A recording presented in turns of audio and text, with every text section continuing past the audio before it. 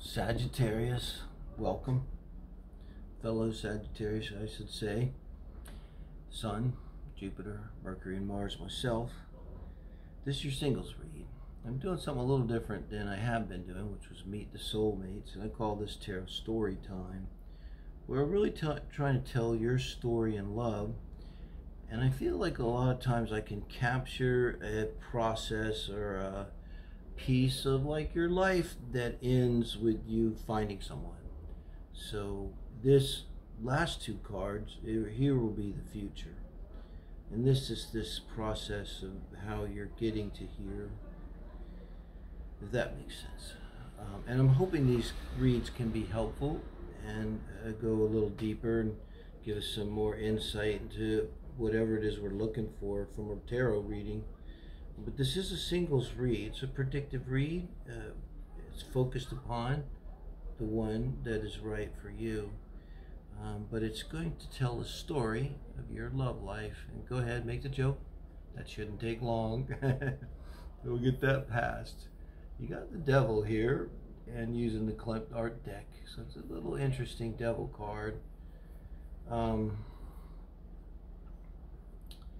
you really get the sense. I mean, this is a love reading, so it, whenever I see this, I don't so much think addictions as um, with drugs or anything like that, as you know, obsessions with love, that plutonic eighth house stuff, um, where you're uh, jealous and controlling and intense and um, that kind of stuff. And so I try to pick up uh, where you're at uh, here and it, where I pick up, you're already an adult uh, here, uh, maybe maybe around the Saturn return time, you know, late 20s, uh, you're mature, a, a young person, um, and you're getting it together. That's where this devil comes in, you know. Um, but it might be more like you're the ten of swords, you're done. The nine of swords, you got one uh, wand left in you. That's that's your action. So but you're down with nine. It's like, wow, I've tried everything. Nothing's working here. You, but you've got, you're saving that last one so that you can maybe get up one more time. Nothing else. But mentally, you're done. In your mind, you're done. You've like, I can't do this anymore. Can't think about this anymore. Can't focus on this anymore. And I get the feeling it would have been something that built up over time and that you kept like going back to, going back to, going back to the same person, the same couple people, um, people who weren't interested for whatever reason, and you know, finally you had enough of that, like 10, ending of a cycle. And you get yourself out of it here with the magician. And I keep in mind, Sag, I have a Cancer moon, uh, Venus and Scorpio, I have water. So it could point to some water in your chart, but you get yourself out of this with the magician here. And this is kind of how I'm reading this in the position of your mind here, the magician. So you're a Sagittarius uh, that probably is manifesting, you know. If I see the magician and that's in that position, you're manifesting. And there's something involved with Cancer, definitely water energy, more Cancer Pisces I see um, with the King of Cups, but that could be Scorpio. But speaking to the water in your chart, I believe. Um, how you got yourself out of this um, puts you in this energy. You look at this King of Cups, though, how he's kind of got the look. So it's kind of the pouty. I'm a Cancer moon. It could be like that, but there's an element of the King of Cups. The Queen of Cups, I don't really get that with. Uh, that can be kind of uh, emotionally manipulative, emotionally blackmailing or manipulative or uh, dra drama, dramatic, you know, somehow. Um, and I think it puts you into that energy, guys. You know, I kind of get the process is like this energy over here was just it, it's terrible. Like you got to get out of that, you know. You leap. Uh, that's leaping out of a burning building to your death kind of energy to a sword. You've got to go. Got to go. Uh, but you did, you worked your magic. You used everything you had. You probably manifested here. Really focus your energy. But you're left emotionally, you know, kind of a little bitter about it. Look at them, King. Uh, a little bitter, a little hollow, you know. Uh, and I think this is a, speaking to these periods here. And then from that energy, you go on into this Five of Wands energy. So you're probably attracting other fire signs or dominant fire signs, sun, moon, rising, or Venus dominant individuals. And it's, um, I think it's like you're trying to get yourself out of this deep water energy here. Hold on. Um, and I mean, I gotta say, I feel like it's kind of a little bit the lower vibrational King of Cups part of it. Um, and it's kind of like being stuck, you know, stuck emotionally. And it's like these five of wands people, could have been five of them, guys, some period of time in your life, like five, where, you know, uh, maybe all of them coming in kind of fast, boom, boom, boom, boom, boom. And um, all of them feeling like the Two of Cups this is like uh, five relationships. I, I swear, sad. Leave a comment. Um, you, you, know, you're sad. You might be counting right now. Yeah. Forget. My very first got tarot cards, real quick. My very first deck. I, I opened it up. I got the Eight of Cups. I already knew what it meant. I was like, I wonder if it's. and I had to count back eight relationships I literally had to use my fingers to keep. I'm not proud of that, but you know, it's partly my mind. I have no air. That's also my excuse, right? But guys, um, you're going through this. What what a lot of people probably think of uh, Sag as being, you know, horse, right? Uh, and maybe you. I don't think you are normally, but you went through a period here where you're kind of moving quick. You're attracted to sex and uh, chemistry and really equating it with love. And you know the two of cups is next to this kind of furtive looking king of cups here. It's like the king of cups is like you know yeah i'm the king of cups but i'm alone. I really want my queen. And so he's kind of looking over at these two of cups here. Very intense Klimt art deck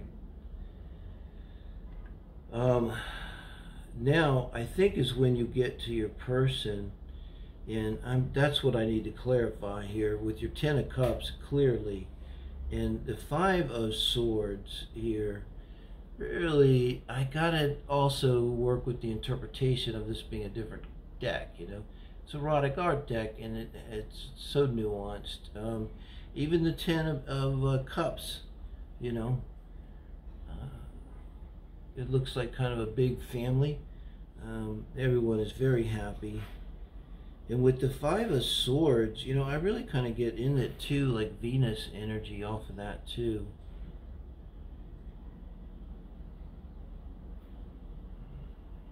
So,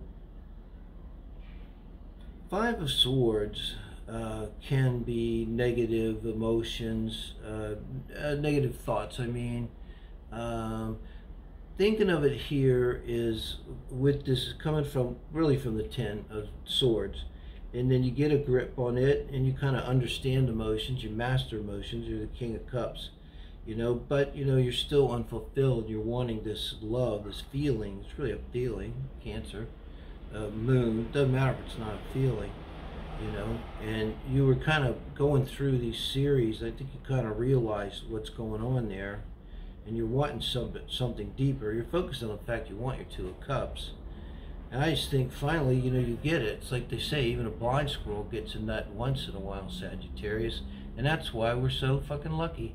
Oh, Sagittarius are so lucky. No, we're not lucky. We just get up and we keep, we do it again. And then we do it again. And we do it again. And then we do, we keep doing that until we die. And so, and we probably fail nine times out of ten. But is it really luck if on the tenth time something sticks? Because I think that's what happened. What you're pulling in is a water sign here.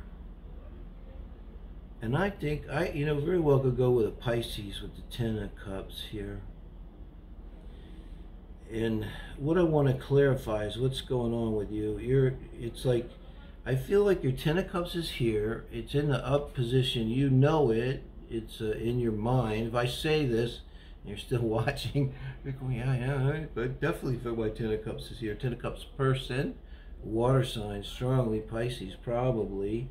But what's going on with the Five of Swords here? because Five of Swords is uh, is uh, it's arguing, it's mentally uh, being in real conflict, you know, direct conflicts. Like I'm against abortion, I'm for abortion, and you know, where are you gonna we'll go from there? Let's see what we get. The Eight of Swords. Wow. Um, I'm gonna have to clarify this again.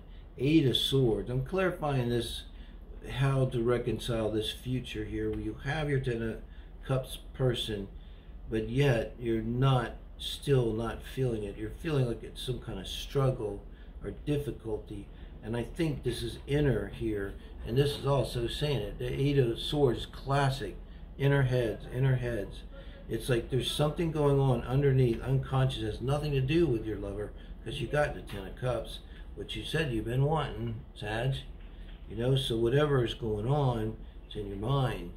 And now, this is telling me it's deep in your mind. Think eighth house, shadow stuff. Help me, Spirit.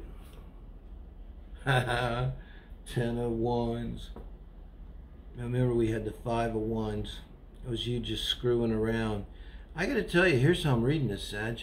You've got this person here, and hopefully, maybe with this very reading, you got the Five of Swords and the Eight of Swords. You you know something's wrong, and you know it's not them. And this is maybe different because normally it is them, and it's not them. So what does this do? It means, uh-oh, I really got to look at me now, because there's nowhere else to point the finger at this point. Because this is internal stuff. This here doesn't have nothing to do with nobody else.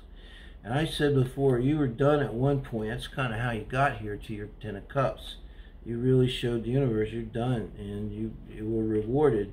But now you're still haunted by these thoughts that are negative. You know, not, it's not going to work and this can't possibly be real and whatever it is.